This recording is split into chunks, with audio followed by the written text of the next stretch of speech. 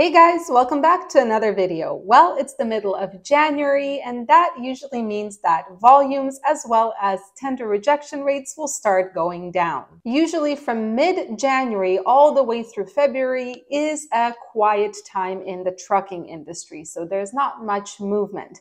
But the good news is that this is pretty normal. This is just the cyclical pattern of this industry. So today we're going to once again look at a weekly market update as well as a forecast of what to expect in the coming days in the trucking market. Now, if you're new to this channel, welcome. I teach about the trucking industry with a heavy focus on the spot market. So if this is something that interests you, feel free to subscribe down below. All right, guys, let's dive into the data. Ready? Let's go. All right, as always, we're going to start with the capacity trend score. Now, as a reminder, and I keep messing this up in every single video, capacity trends tell us what kind of negotiating power a carrier has.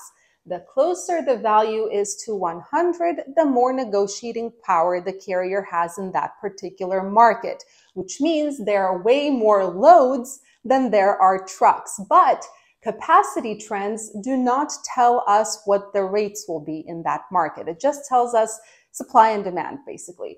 So for vans, we can see that the highest value, there are actually two highest values, is Dallas, Texas, and Greenville, South Carolina.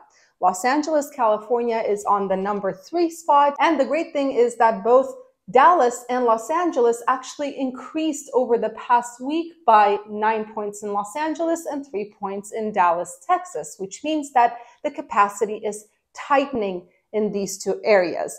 Basically, when you get there, you can negotiate brokers up because there are way more loads than there are trucks to cover those loads. And then you can see later on, there's Evansville, Hutchinson, and it becomes basically the markets become looser and looser in terms of capacity. But what are the worst markets when it comes to dry vans and negotiating power? So number one is Stockton, California. The value is at three, which means that shippers and brokers are the ones with the negotiating power basically there are more trucks here than there are loads, aka oversupply, lack of demand. Number two is Maryland, Connecticut, North Carolina, and Greensboro. Again, this is by market area.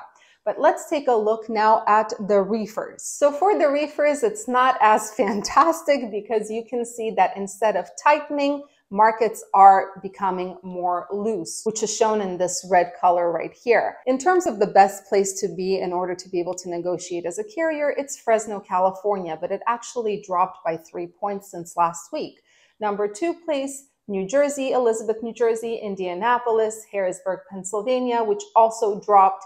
Everything else has no real change here. But let's take a look at places where the brokers have the upper hand and the shippers have the upper hand. Well, number one, which surprised the bejesus out of me, is it's Fort Wayne, Indiana. The value is at 11, which means that in Fort Wayne, Indiana, basically there are way more trucks than there are loads, so shippers can negotiate those rates down, as well as brokers.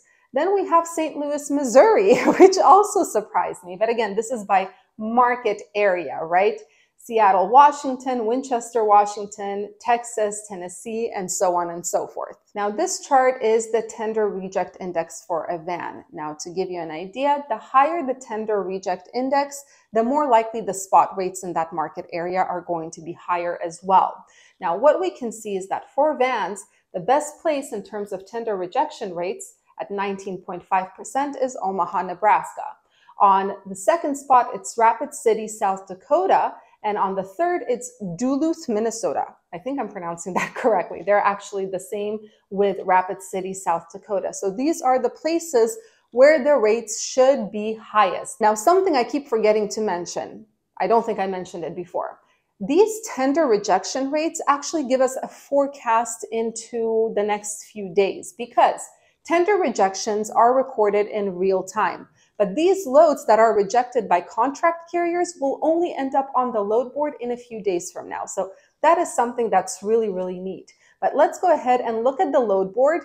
Today is a holiday, so there are not going to be many loads. It's not going to be a great comparison uh, to this. But let's take a look at the load board and see what these three markets for the dry van look like. So as we saw, the highest tender rejection rate is happening right now in Omaha, Nebraska, although it is only at 19.5%. It's not that great. It has fallen from last week by 3.7%. Let's take a look at today. So we can see that the rates from Omaha, Nebraska are fantastic, especially to the West Coast. North Carolina, it's pretty good right here. Of course, Idaho, Montana, Florida will always pay very, very well. We see that to uh, Laredo, Texas, it pays pretty well as well, but of course the rates are nowhere near what they were uh, this past week. Unfortunately, the rates are going down.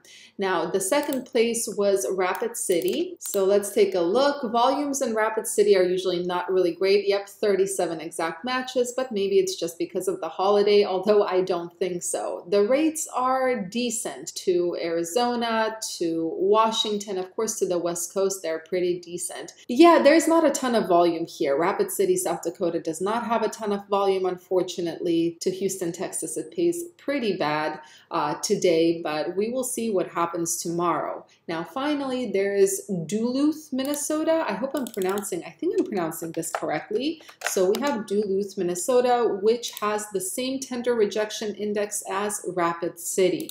So let's take a look. The volume is good here, and we can see that the rates are pretty good as well. Waco, Texas, it pays very, very well. We have Arkansas, it pays not so well here. To Kansas, it pays decent. To Missouri, it pays decent. Shorter loads here pay pretty pretty well. Then we have the reefer, right? On the number one spot at 51% rejection rate, which is fantastic, is Bismarck, North Dakota. On the number two spot, it's Fargo, North Dakota. And then finally, Sioux Falls. Oh my God, thank you guys for telling me how to pronounce this. Sioux Falls at 37.5%.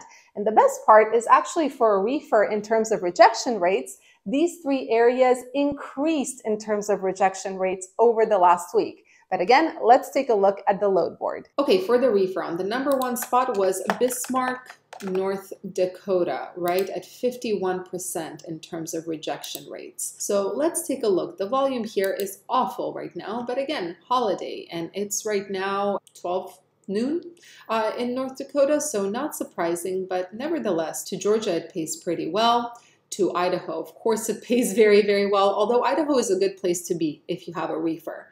Uh, to Los Angeles, California, it pays well. Even to Illinois, it pays very, very well. Let's take a look at what is happening tomorrow when it's no longer the holiday. Something to note, many brokers do not post their loads in advance. So the volume is very, very low here right now. Uh, but we can see that even to Illinois, it pays fantastic. It pays over $3 per mile, it looks like. Pennsylvania pays fantastic. So yeah, there are some opportunities in Bismarck. On the number two spot was Fargo, North Dakota. And if I remember correctly, Fargo will have usually higher volumes for reefers. Yep, I am correct. And let's change it to today. And we can see here that the rates are pretty fantastic. Holy moly. $9,000 for Pennsylvania. What is going on here? Oh, okay, you go backwards to Idaho. That's why. Yeah, because this looked like a overly high rate. Um, Florida pays well, of course. Arizona will pay very well, but the rates here are fantastic. Look at this $4,000 for 1,337 miles.